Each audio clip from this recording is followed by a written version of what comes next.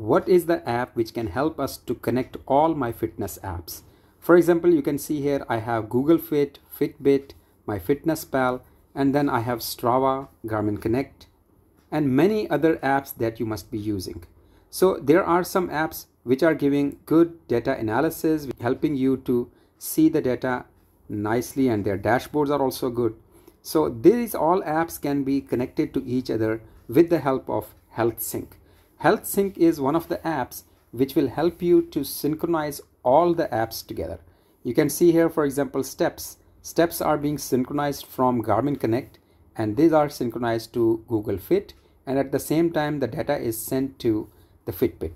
Activities, you can see here that these activities are being synchronized from Garmin Connect to other apps. Garmin Connect is already connected to Strava with the help of Garmin Connect. But in case the apps are not possible to be connected from Garmin Connect or from the app directly, you can use this HealthSync app which is available in Android. Similarly, you can see here that the sleep data is also being synchronized from Garmin to Google Fit and to other apps.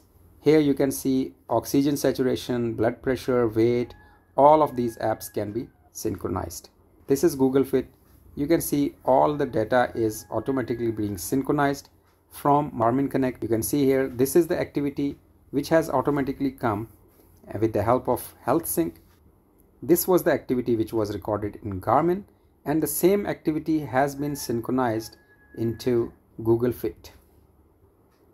So there is no connection from Google Fit to Garmin and Garmin to Google Fit directly, but with the help of HealthSync, you can connect all these apps together. Whenever you want to change Fitbit to Garmin or any other watch, so you will not be losing the data if you are using HealthSync. HealthSync is helping you to synchronize all the apps together.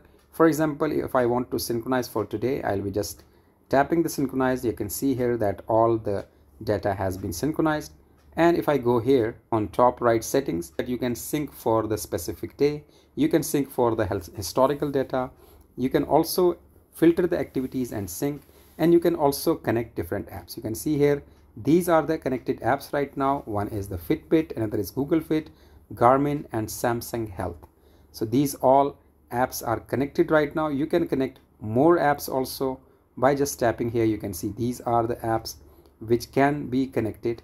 Garmin can be connected, Oura can be connected, Medem Health can be connected. So these are the new apps which can be connected. All other apps are already connected. So how you can get it? If you go here to Play Store, in Play Store you will look for Health Sync.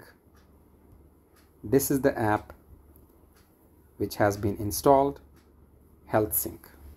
So I have been using it for a long time now. It is a great app. Just open this and start using. So if you want to know more about this, let me know in the comment section. I'll explain you how to configure that. See you in next video. Take care and goodbye.